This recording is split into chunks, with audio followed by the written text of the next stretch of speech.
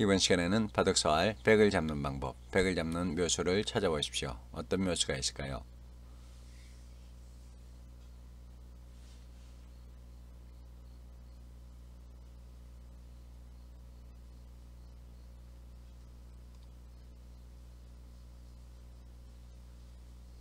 정답을 알아보겠습니다. 여기서 이렇게 찌르는 수는 어떨까요?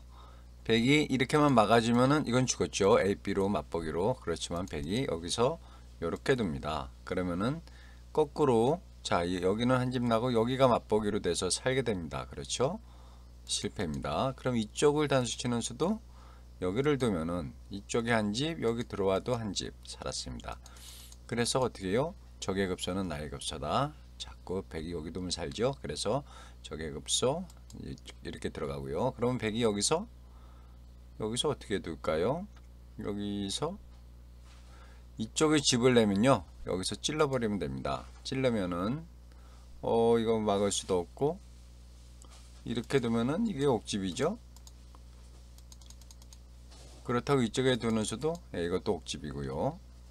어 이거 찔러는 수로 죽는데요. 아 여기 두는 수는 이렇게 들어가서 어 여기 끊을 때 아, 죽습니다.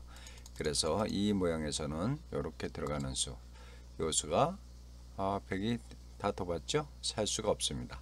이 수를 아시면 되겠습니다.